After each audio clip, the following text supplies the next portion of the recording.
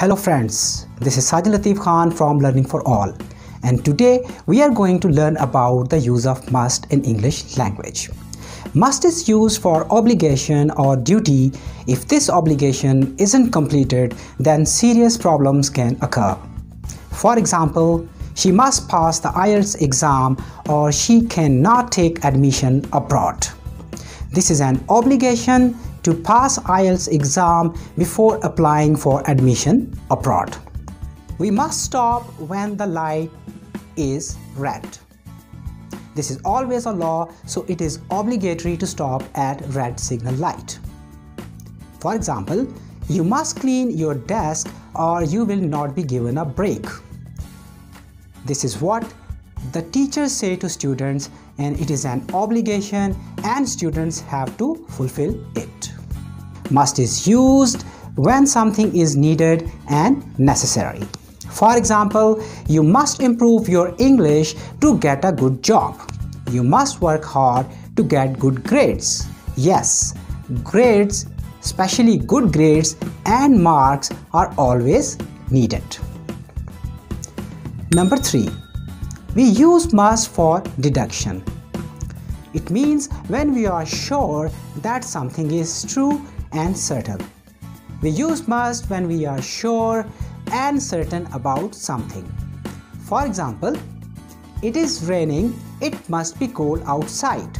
I'm sure it's cold outside because it's winter and it's raining. Let's see another example. You have been working hard since morning, you must be tired. Ali must be at home, his car is in the garage. I'm telling this because I'm certain and sure because he's always at home when his car is in the garage. Number 4. We use must in English language for strong advice and for strong recommendations. Let's have an example of it. Chicken roast here is delicious. You must try one. You must watch the Vertical Limit movie. It's amazing and full of actions. If you have a high fever, you must consult the doctor because it's important. Number 5. We use must in English to express positive logical assumptions and for that we use a structure. Must plus have plus past participle. For example, he must have worked hard. He secured first position in exams. He must have won the lottery and that's why he has bought a new house.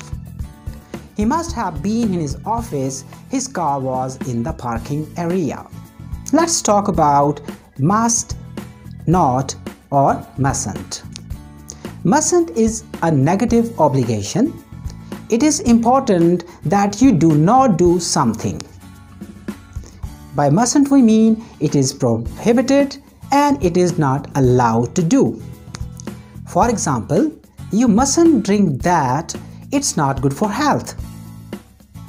You mustn't drive fast in this town. You mustn't smoke in the office.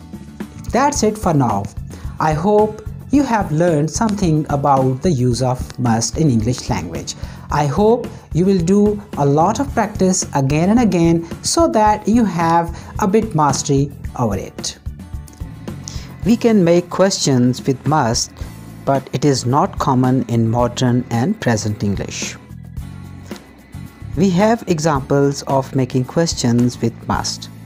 Let's try to observe these examples. Must I go? Must we go?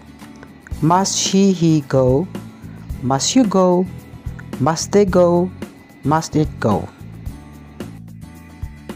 Must and pronouns. All pronouns can be used for must and mustn't. For example, I must, we must, he, she, it must, you must, and they must.